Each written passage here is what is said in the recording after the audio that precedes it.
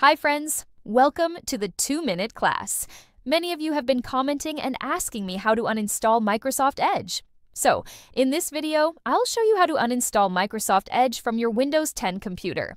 Unfortunately, Windows 10 does not allow you to uninstall Edge through the settings, as the option is blocked. This makes the process slightly more complicated than removing other apps. However, I'll guide you through the steps so you can quickly and easily remove Microsoft Edge from your system. To begin, first close Microsoft Edge. Once it's closed, open File Explorer. If you don't see it in the taskbar, you can right-click the Start button and select File Explorer from the menu. In File Explorer, navigate to this PC, then open Local Disk C colon. From there, go to Program Files x86 and locate the Microsoft folder. Inside this folder, select Edge. You may see multiple folders, but choose the one labeled simply Edge. Then open the Application folder. Inside the Application folder, you'll find a folder with a series of numbers representing your current Microsoft Edge version.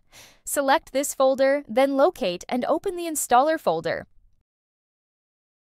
Next, in the address bar at the top, click on an empty space to highlight the text, delete it, and type CMD, then press Enter. This will open the command prompt in the Installer folder. If you need assistance, check the video description for a detailed guide. Now, copy the uninstall command from the description.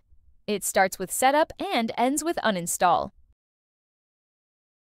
Go back to the command prompt, right-click to paste the command, then press Enter. A confirmation prompt will appear asking if you want to make changes to Microsoft Edge. Select Yes.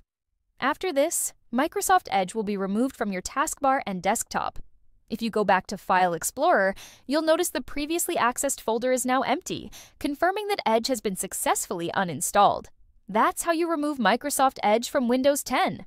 If you have any questions, feel free to leave a comment and I'll get back to you. For more Windows 10 tutorials, check the links in the description. If this video helped, give it a thumbs up and consider subscribing to this channel for more tech tutorials and reviews. Thanks for watching, and have a nice day!